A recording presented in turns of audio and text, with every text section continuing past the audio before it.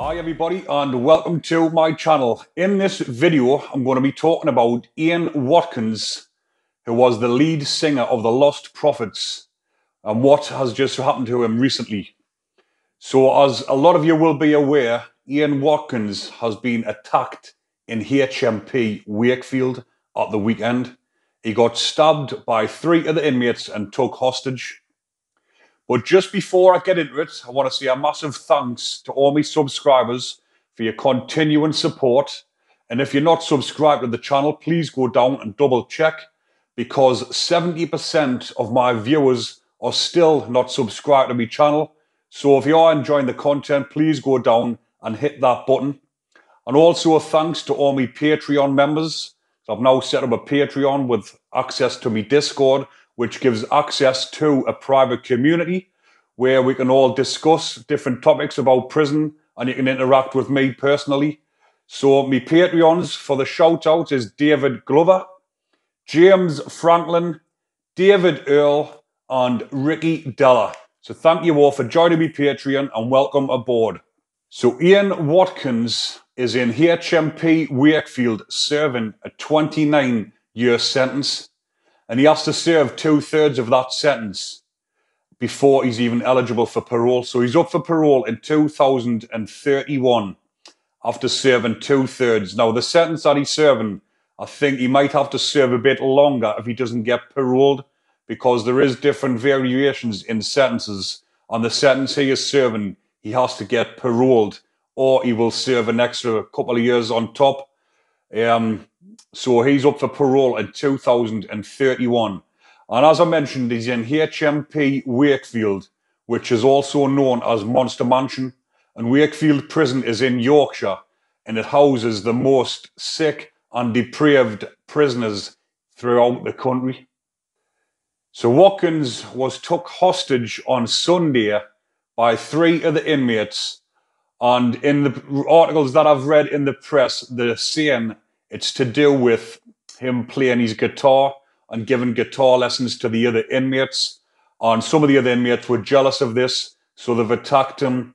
But everybody knows what he's in prison for, which I'll go into details after I've told you the story about him being took hostage. And the the real reason will probably be because of the offence that he's in for, because he's in for child offences, and what he's actually in for all the other inmates. Not so much the uh, sex offenders, but there will be other inmates that are wanting to attack him because this what happens with high profile sex offenders. I've done videos on people previously. Um, throughout the sentence, they will get attacked at some point. and this has been Watkins' point where he has come under attack. So the three other inmates, two of them are in for murder.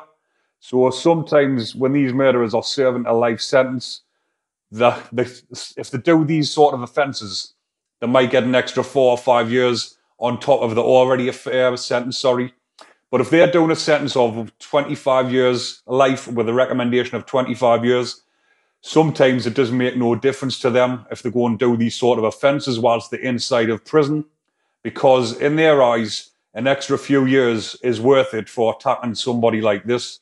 So I don't know the details of all three of them, but two of them are in for murder and they will get sentences added on. But they've took him hostage, and he's been held hostage inside of a pad for six hours while they've all been taking turns at beating him and stabbing him.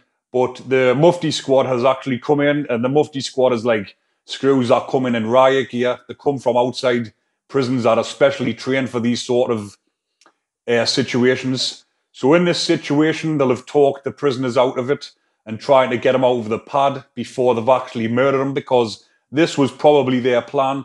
If they took him into a pad, three of them have probably plotted to kill him. But I don't know what the other inmates were in for, apart from that they were in for murder.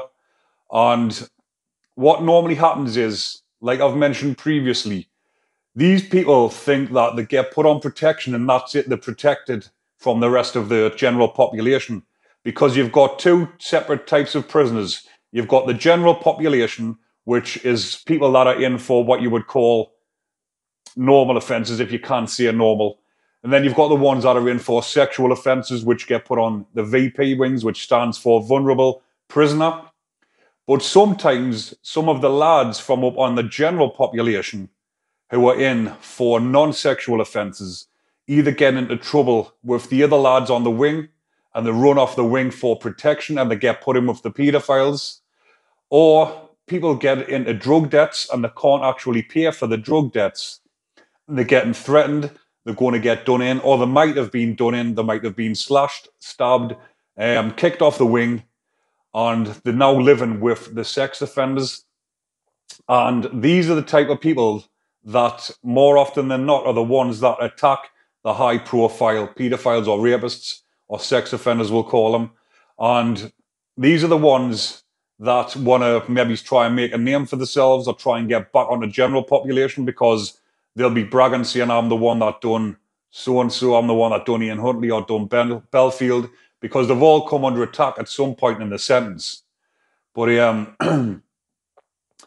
again, as well, when I've covered topics on other prisoners that have actually been murdered in prison, a lot of the time the murders that happen in the prisons are happening on the VP wings, the sex offender wings, and it's normally by another sex offender. Like the case where I covered it on here about Richard Huckle, the depraved sex offender who got murdered in Full Sutton, I think it was. He got murdered. Everyone was like in the comments, a lot of people were praising him, saying, Oh, well done to the lad that done it. But in fact, the lad that done it was actually a sex offender himself. But sometimes I've heard of prison officers who have actually worked with these that sex offenders, you've got two types of sex offenders as well. You've got the ones that do it to women or men, and then the ones that do it to kids. You've got the rapists, then you've got the paedophiles. And a screw told me in Frankland prison that sometimes these rapists who have in for raping adults or raping women don't look at themselves as being as bad as these that have raped kids. So what happens is these are the ones that then go on and attack them because they think they're a bit higher up than the ones that have been in for hurting children. So these are the type of people that are actually assaulting them in prison. Sometimes, like I've mentioned, it's not the lads on general population, it's other sex offenders and the majority of the murders that have happened in the high security prisons is sex offender on sex offender. Now, for those of you who don't know who Ian Watkins is, or you don't know who the Lostprophets are, these were a band that obviously was formed, and Ian Watkins was the lead singer. So Watkins' full name is Ian David Carslake Watkins, and he was born on the 30th of July 1977. He was born in Merthyr Tydfil in Wales. He later moved to Pontypridd, where he attended Hawthorn High School with future Lostprophets bandmate Mike Lewis. He gained a first class honours degree in graphic design from the University of Wales Newport. But Watkins actually got a 10 month sentence added onto his sentence because he was caught with a phone in his possession. And he's actually been moved to a couple of different prisons uh, before he was in Wakefield prison. So Lewis and Watkins' mutual enjoyment of rock and metal music strengthened their relationship, leading them to form a group as teenagers in 1991 called Aftermath, a thrash metal band that played in a shed in Watkins Gardens. Aftermath never recorded any material, introduced to future bandmate Lee Gaze through a mutual friend, having abandoned Aftermath, which made two live appearances in its lifespan of two years. Watkins and Gaze decided to form a new band called Fleshbind, based on their American hardcore punk influences. The band played several shows, including one supporting feeder in London, but the group was short lived. Watkins reunited with Mike Lewis as a drummer in a hardcore band called Public Disturbance, formed in 1995. Watkins and Gaze had left Fleshbind to create their own band, Lostprophets, who made their live debut in May 1997 alongside Public Disturbance, with Watkins as a lead vocalist. In 1998, Watkins left Public Disturbance to concentrate on the newly named Lostprophets. In 2003, Watkins was featured on the Hoobastank song Out of Control, along with Jamie Oliver, who was by then a member of Lostprophets. And when I say Jamie Oliver, I'm not on about the chef here, by the way, people. On New Year's Eve 2008, Watkins took part in a concert for Kidney Wales Foundation and stated that his reasons for being involved were as a result of his mother needing a kidney transplant. Watkins was also featured on the Blackout song It's High Tide Baby from their debut studio album We Are the Dynamite. In 2009, Watkins started a remix and side project called L'amour la morgue. He released 17 remixes by artists such as The Killers, Beyonce, Young Guns, and a few others, just to name. He also released a free mixtape which was available online, along with a free download of a song that was premiered at a fashion show in 2008. Lostprophets released five studio albums. The Fake Sound of Progress, Start Something, Liberation Transmission, The Betrayed, and Weapons. Watson's abuse and misconduct with children started or came to light in around about 2008, and these bandmates were starting to notice things going on that weren't right, which shouldn't have been happening. Because when he was touring, he was getting the young audience members to come back to his room and he requested a private dressing room away from his bandmates, and his bandmates were taking notice of what was actually going on. But around this time, he was into heavy drug use as well, and his behaviour was getting erratic and out of control. And his other band members started drifting away from him because they didn't want to have nothing to do with him when they were seeing this sort of thing going on.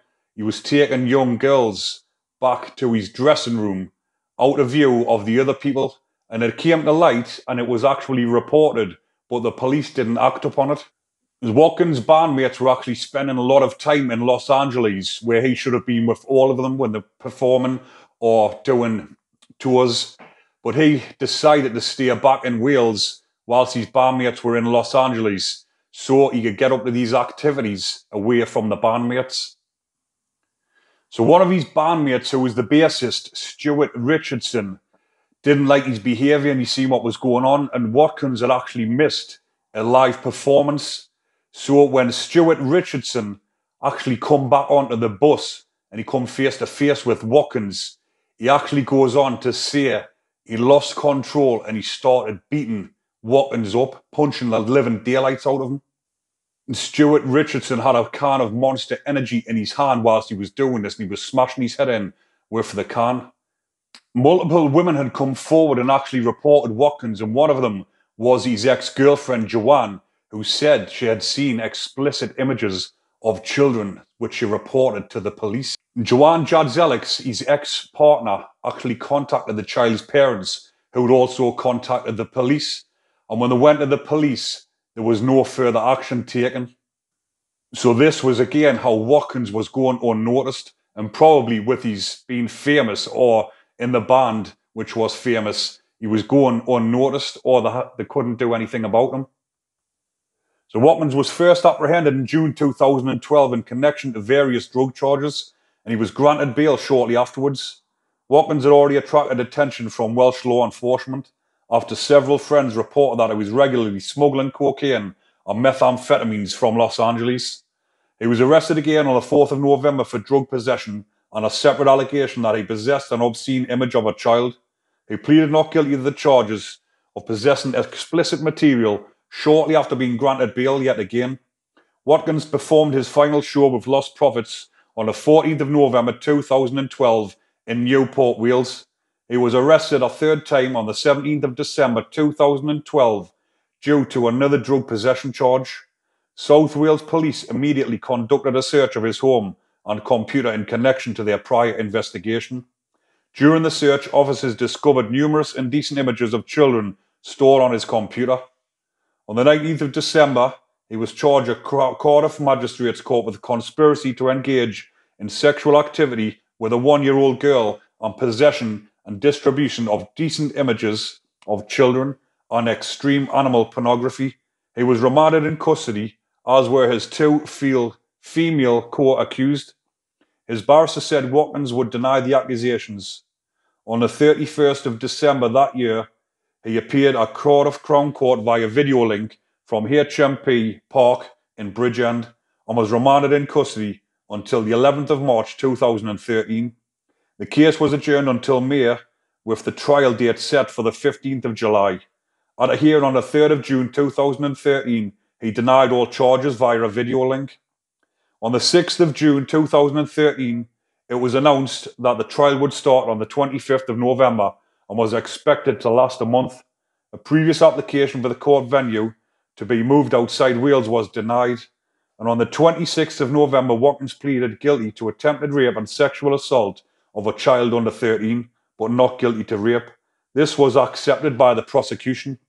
He further pleaded guilty to three counts of sexual assault involving children, six counts of taking or making or possessing indecent images of children, and one count of possessing an extreme pornographic image involving a sex act on an animal. His victims included a baby boy, and he sent a text message to the mother of one victim and said, If you belong to me, so does your baby. South Wales Police investigations into Watkins, codenamed Operation Globe, required the cooperation to decrypt a hidden drive on his laptop, which was found to contain video evidence of his abuses. Investigators later bypassed the encrypted password to Watkins' laptop. On the 27th of November, the day after his guilty plea had been accepted by the prosecution, Watkins was referred to his sex offences as mega lols in a recorded phone call to a female fan from HMP Park. A sentencing hearing was held at Cardiff on the 18th of December 2013. Watkins barrister Sally O'Neill QC said that Watkins had no recollection of the case involving the attempted rape, but had belatedly realised the gravity of what happened after having developed an obsession with videoing himself. Justice John Royce sentenced Watkins to 29 years in prison with eligibility to apply for parole in 2031 after serving two thirds of his prison term, followed by six years of supervised release. His two co defendants, the mothers of his victims, respectively received sentences of 14 and 17 years in prison. The judge said the case plunged into new depths of depravity. A senior investigating officer on the case described Watkins as a committed, organised paedophile and potentially the most dangerous sex offender he had ever seen. Watkins was transferred from HMP Park, where he had been incarcerated while on remand, to HMP Wakefield to begin his sentence. In order to be closer to his mother after she had a kidney transplant, he was transferred to HMP Long Lartin on the 25th of January 2014. And on the 9th of November 2017, Watkins was accused of grooming a young mother from prison through a series of letters and as of March 2018, he was back at Wakefield. So Watkins arrived back at Wakefield Monster Mansion, where he rightly deserves to be. But as I've just went over the case there, some of the things are quite sick, and well, all of it is quite sick, and it's quite explicit. But um, a couple of me viewers were asking us about doing a video on this so I've went into depth on this video. I've told you about what happened whilst he was in Wakefield when he got attacked just at the weekend gone and all of the offences that he's in prison for now. And as I've just told you there in the video, he, he had two co-defendants, two mothers of the children that he was interfering with, who got 14 years and 17 years. What kind of women are these to be letting a monster like this anywhere near his children? They don't deserve to have contact with their kids ever again. But like I've mentioned, the two people that have attacked Watkins, two of them are in for murder, and I'm not sure on the other one. But a lot of people will say he got what he rightly deserved, but we don't know what the defendants or the attackers are in for themselves. Because, like I mentioned at the beginning of the video, more times than not, these are actually sex offenders themselves. But beast versus beast, and this is what goes on in the high security estate, whether the sex offenders or in general population. But all these sex offenders, especially the high profile ones, will not be having an easy time in prison.